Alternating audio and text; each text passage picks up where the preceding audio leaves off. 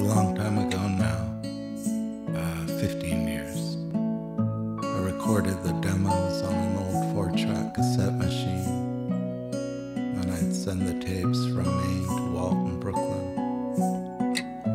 He'd tell me what he thought was working and what wasn't. Pull up a long roll down the window.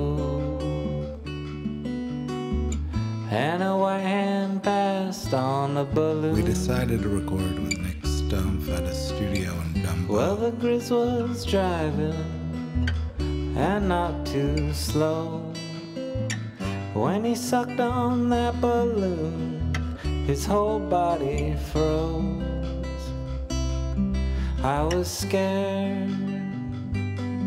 I was 14, and I was scared never been very good at having a career, so not a lot of people heard it.